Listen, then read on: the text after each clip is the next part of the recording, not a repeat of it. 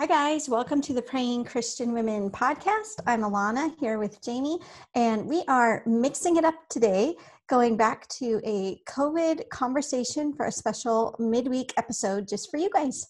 Everybody was just getting a little too comfortable with our routine. We just wanted to mix things up and, you know, shake up your week exactly, exactly. So, what we wanted to talk about today, this is pretty pertinent toward like the pandemic that we're going through right now. If you happen to be listening to this later, this also can pertain to just different things. Basically, the question is, what are you going to do when your church is making decisions about how they're going to respond to this pandemic or Christians around you are making decisions about how they're going to respond to this pandemic that are different than yours. So, for example, like some churches are under state or city mandates to you know close or limit seating. Some churches are going ahead and having services anyway some aren't.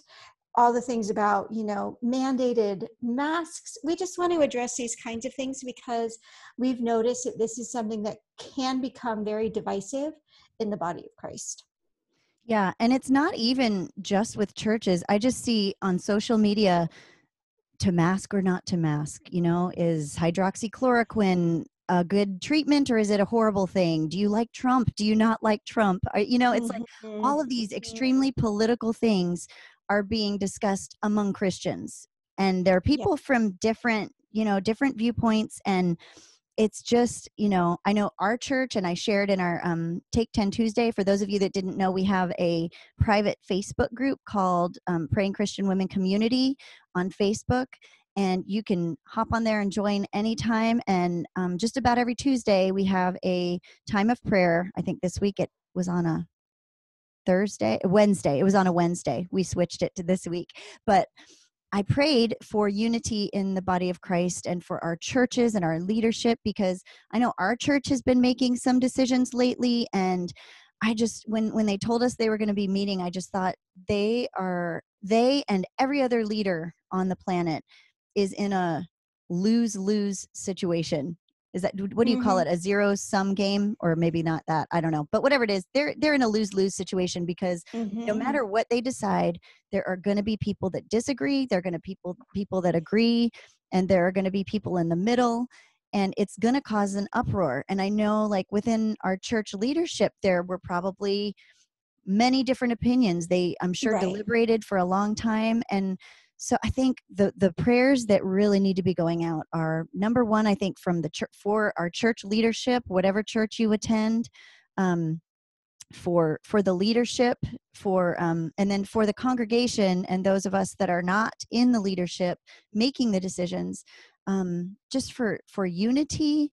And i like the word harmony because i feel like being a musical person that has played the piano you know harmony is made up of many different notes.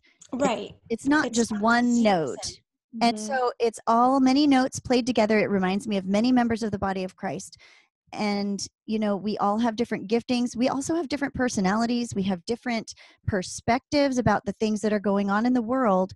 And it doesn't mean that, I mean, yes, there is absolute truth. There is a time for black and white, but there is not always, there are times where there are different ways to view things and respond to things and that i think god uses that to help us in our sphere of where we are and and how we think and how we relate to people and how we make decisions to further god's kingdom in our own way. So i don't think we have to look at a lot of these disputable matters within the church as things that we have to all see eye to eye on or we can't be friends. Exactly. You can choose to wear a mask or not and still love your brothers and sisters in Christ who make different choices mm-hmm. than you. So we are here to specifically just try to be a voice of reason and then to offer our prayers for the sense of harmony because this is dividing people and really like the the times to break fellowship are when somebody is telling you that Jesus is not the son of God and that he is not the only way to heaven. Yeah. And beyond that there should be grace. So I would say let's talk first to people who are being cautious and staying home as much as possible, wearing their masks, doing the social distancing, following these guidelines. Let's talk to you guys first. um, when other people are not as cautious as you, it can turn into a sort of hoity toityness, mm-hmm. right? And we totally get that because it's been explained to us that the more precautions everyday people like us take, the sooner we can kind of get over the danger of this spread. Okay, but here's the other thing to remember we cannot control what other people do. And in the end, it does come down to people's personal decisions and things like that. And so, I want to encourage you guys who are being super cautious, first of all, to make sure that you're not doing what you're doing out of anxiety and fear, but truly out of love for your neighbors. You can stay home as much as is reasonable and realistic for you out of love for those around you because you do not want to be somebody who contributes to the spread of this disease, right? Mm-hmm. That's different than staying home because you're terrified. And we shouldn't live our lives in fear. And so, if there is a lot of anxiety, that would be something to just take to the Lord in prayer, talk and pray through with a friend. Um, and I'm not saying that this isn't a serious thing, but as Christians, we need to to do what we can to not live in constant terror, right? Mm-hmm. So that's kind of what I would say to group A. And then, you know, group B, why don't you take that one? The to the people who are being more just out and about and and you're looking at people who are still wearing their masks or not going out. What right. are the things that they need to keep in mind? Right. And I think someone on that end of the spectrum is coming from a position of you know i know there are, are people that are doing that based on i don't really from what i have read i don't believe that masks are effective so why should i be told to wear one? Um, or i'm not going to live in fear i'm going to live my life. Um, god has not given us a spirit of fear a spirit of power and of love and of a sound mind and you know so being on that end of the spectrum um, i think you need to look at people that are believing that masks are effective and or at the very least are saying well if, if i'm asked to wear a mask i'm just going to do it because i've been told to because if it has a chance of helping then i'll do it um, mm-hmm. and just have grace and and not point fingers i have seen some social media posts that are kind of like you know equating people that wear masks to sheep and you know mm-hmm. kind of like you know you're being you're being um not smart and right.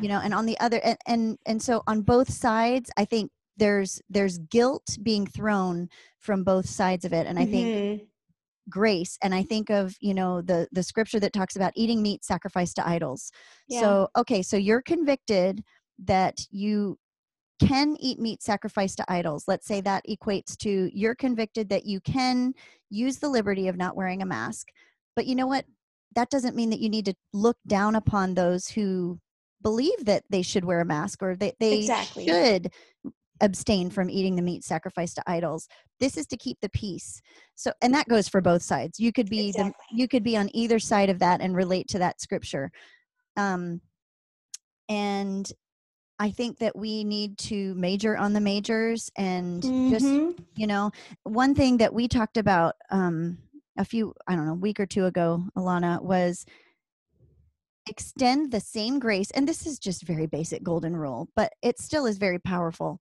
extend mm-hmm. the same grace to someone else and their choices as you would like them to extend to you and your choices so maybe exactly. flip it i think a really mm-hmm. useful exercise would be to flip your flip it and put yourself in that person's situation and mm-hmm how is that person thinking about me and then how would i like them to think about me and then make yourself exactly. think that way about that person yeah take the other side and again yes let's let's show so much grace let's give especially other christians yes. the benefit of the doubt and and really check your own conscience you can do what you're doing out of love for others. Regardless, right? So, Jamie, I'm going to throw you on the spot because I know how much you love that. I love let's, it.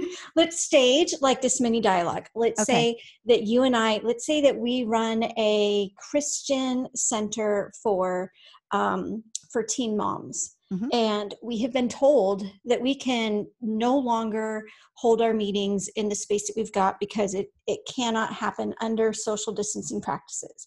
All right, which side do you want to take? One of us is going to argue for we're going to kind of promote civil disobedience and do this anyway, and the other is going to be we're going to follow, you know, the rules that our legal authorities have laid out for us. Which side do you want?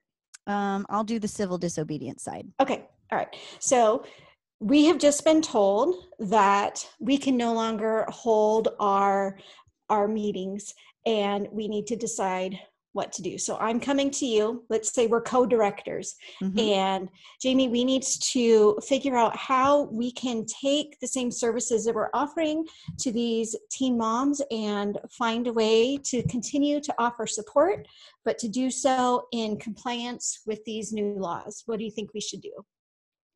Um, well, I happen to know for a fact that these teen moms really heavily rely on being present in this physical space. And so um, I really think that we should consider continuing to have them meet, even though it doesn't technically fall under the guidelines. I think we've been called to this ministry, and I think that the guidelines that we've been given um, have been overridden by by the calling that God has placed on us to serve these women. I don't think they're going to be able to be served, and I think they're going to, you know, fall into some, you know, difficult situations if we don't maintain uh, staying open. So I absolutely agree that it would be better if we can meet face to face, but I don't think that we we should risk it. We do have um, the single mom Jenna, whose daughter has special needs. I certainly don't want to encourage her to come and risk exposing her little baby, um, who can't really afford to get sick.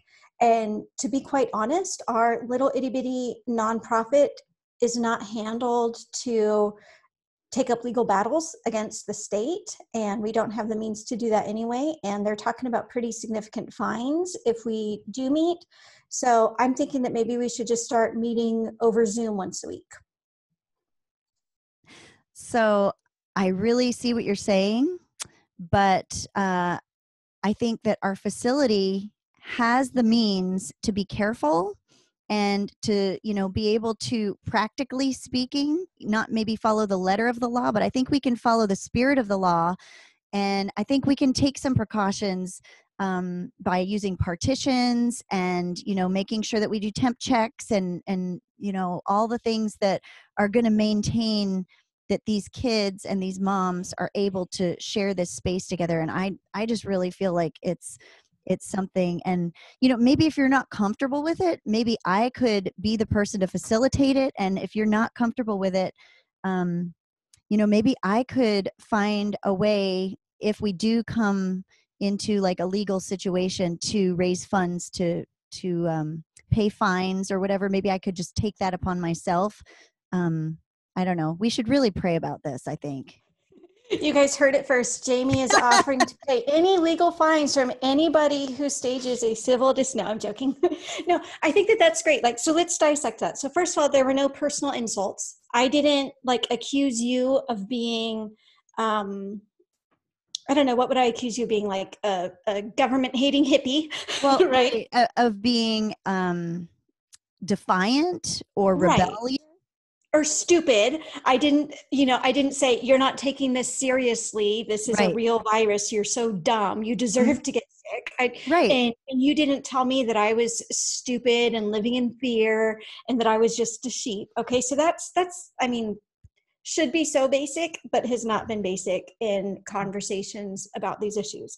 So Mm-mm. And then the other thing is we both recognize and I hope that you guys both heard or that you heard from both of us like we both wanted to do what is best.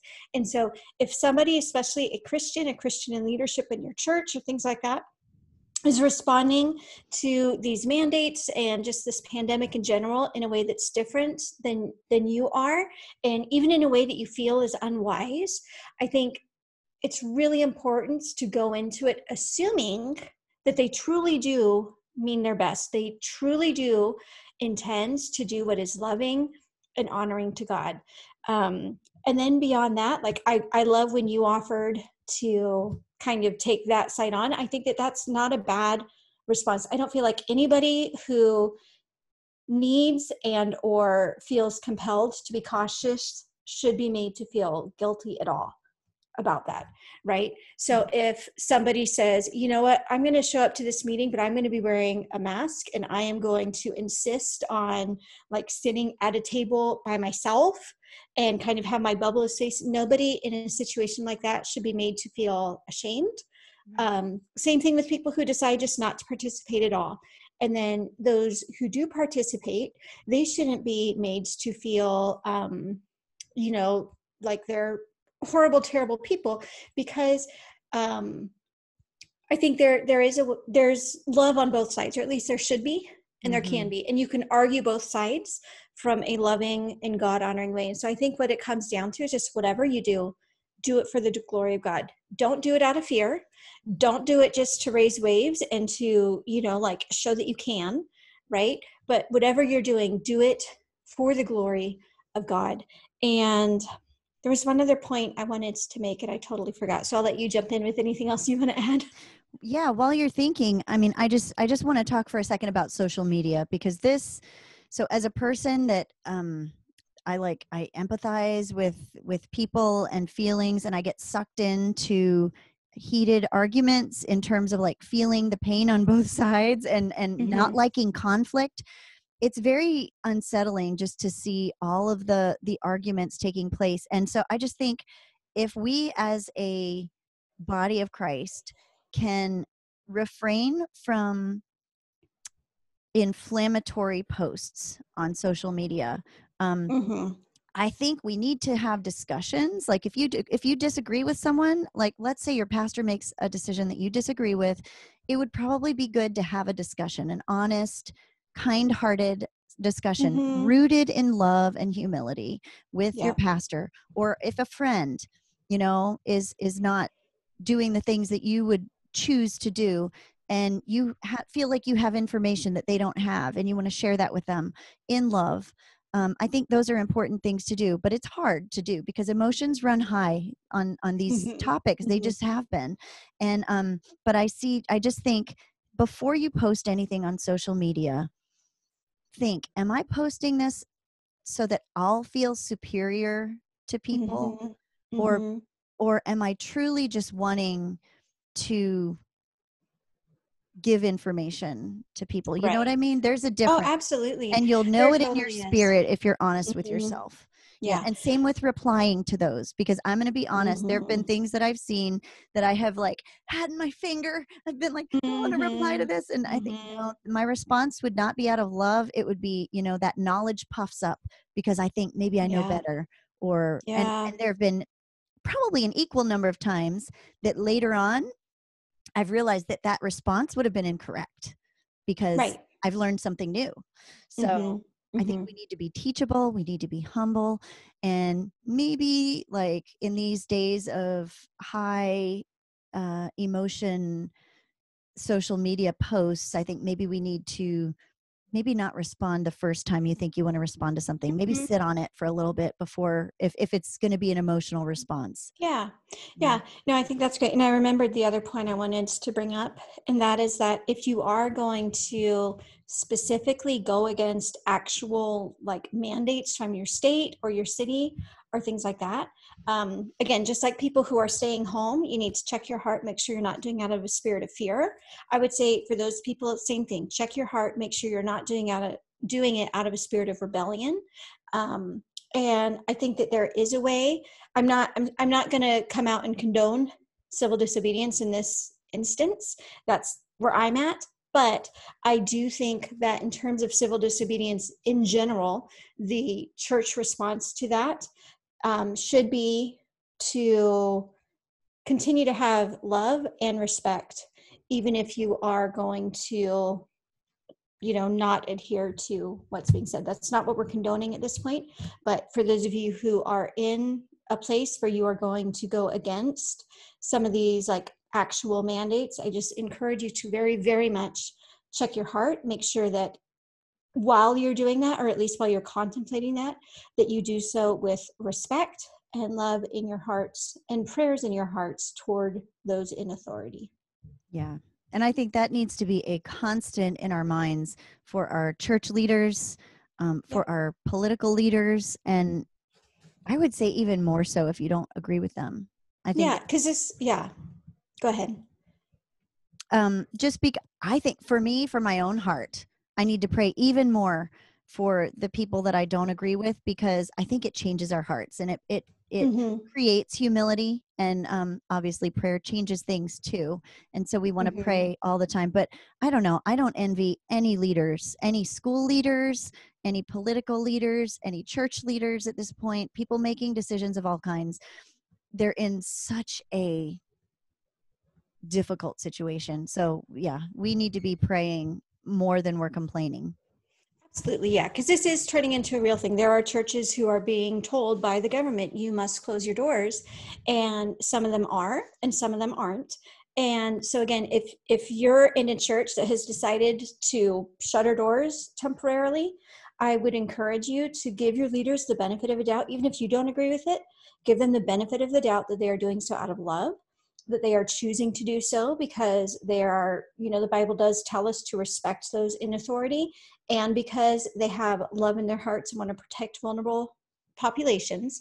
Okay so that's that side of it. And then if if you're on the more cautious side and your church has decided to stay open even in spite of this i encourage you to again give your leaders the benefit of the doubt that they are choosing to do so out of a spirit of love that they have prayed over this that they're not doing it just to prove that they can but that they believe so wholeheartedly in the power of meeting together and the purpose of the church that they're willing to kind of put themselves and their their church at risk. I'm not talking about like the virus risk but like at, at risk of lawsuits or fines or whatever backlash might come. So even if you vehemently disagree with how your church has decided to handle some of these things, I encourage you to find a way, even if it takes a little bit of mental gymnastics, to give them the benefit of the doubt and to truly believe that even if it's a decision you wholeheartedly are against and think is a bad decision, that you at least put yourself into a position where you can give them that benefit of the doubt and say they went into this prayerfully and they are doing what they are doing for the glory of God. Absolutely. Awesome. Well, let's go ahead and, and pray over that because I know it's a messy situation. Jamie and I mm-hmm. don't even pretend to come close to have scratching the surface of this, but it just it felt like it's something that that really is weighing heavy on people's hearts and is definitely impacting churches across the nation. Mm-hmm. So, and maybe the world. I I don't know what what's going on in other parts of the world. So if you are in a non-US country and want to fill us in, we would be I'm super curious to hear how it's going yeah, for you let guys. Let us know. I.